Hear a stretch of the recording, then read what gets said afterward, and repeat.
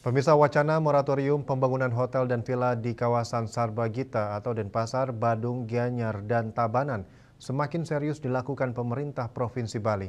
Bahkan tidak saja hotel dan villa, namun moratorium pembangunan diskotik dan beach club juga tengah diusulkan ke pemerintah pusat.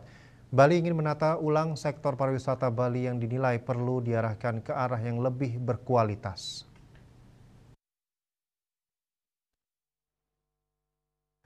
PJ Gubernur Bali Sangmade Mahendra Jaya mengatakan sedang mengusulkan moratorium selama 1-2 tahun ke depan. Usulan tersebut telah disampaikan kepada Menteri Koordinator Bidang Kemaritiman dan Investasi. Langkah ini diambil untuk menata ulang sektor pariwisata Bali yang dinilai perlu diarahkan ke arah yang lebih berkualitas. Di samping juga untuk mengatasi sejumlah masalah seperti alih fungsi lahan dan penjualan minuman keras yang tidak terkontrol di warung-warung kecil. Mahendra Jaya mengakui alih fungsi lahan untuk akomodasi pariwisata wisata semakin masif di wilayah Sarbagita Bali.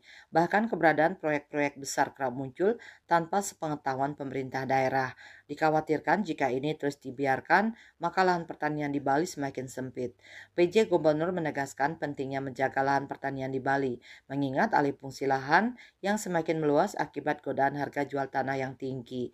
Ia mengingatkan warga Bali agar tidak terus-menerus menjual lahan.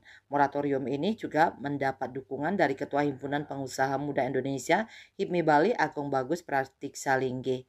Menurutnya, moratorium ini diperlukan untuk menata kembali sektor ekonomi terutama dalam hal pengelolaan aset dan penghindaran kebocoran pajak. Pihaknya sangat setuju adanya moratorium. Salah satu isu yang ingin diangkat pula juga tentang subleasing, bagaimana mengontrol aset yang disewa untuk disewakan kembali. Ini yang menjadi kebocoran ekonomi juga. Winato Bali Post melaporkan.